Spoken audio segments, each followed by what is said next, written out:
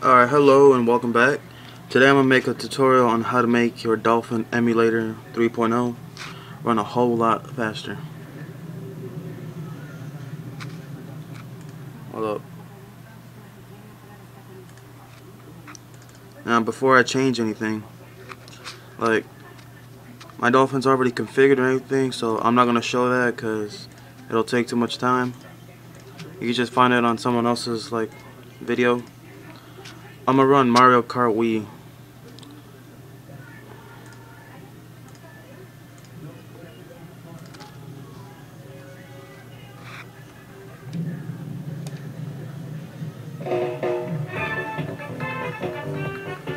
FPS is at 60 and as long as that stays at 60 or around 60 then it runs like pretty good like perfect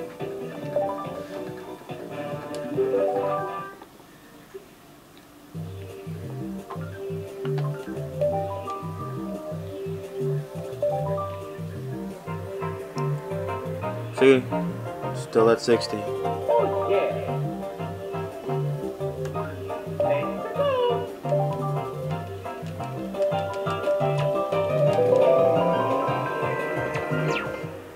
But it dropped down like 30, 13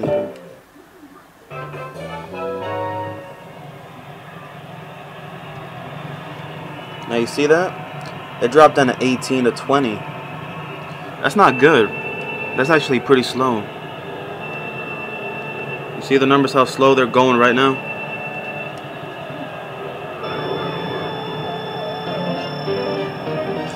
Yeah, that's not really fast at all. And you see, it's still around 20, like 22. I'm going pretty slow right now. So I'm to show you how to fix all that. First, we're to exit out the game and then we're going to go up here where it says emulation. Now I didn't know about this and I learned about this today so we're going to go down to frame skipping. And it's normal to put it around 2 but I'll put it around 3 just to be on the safe side. Go back into Mario Kart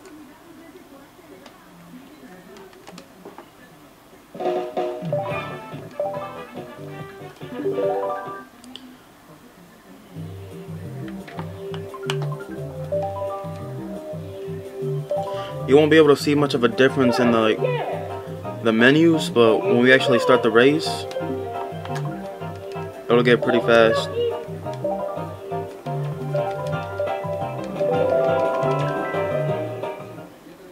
I don't know why but I get I'm guessing like the menu is always slow.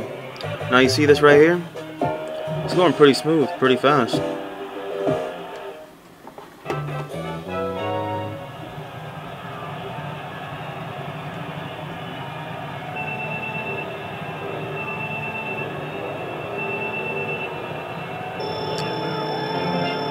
and that's all you gotta do is just go to emulation go to frame frame skipping and um change it to two or three if you want.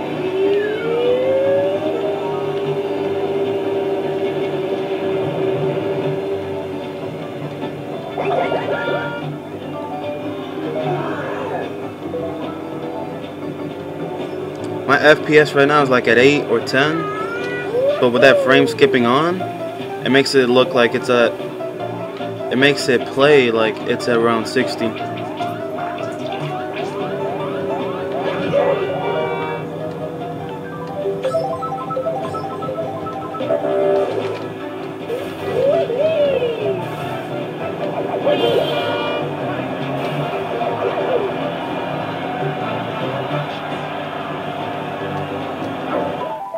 Alright, thank you for watching this video like, comment, and subscribe.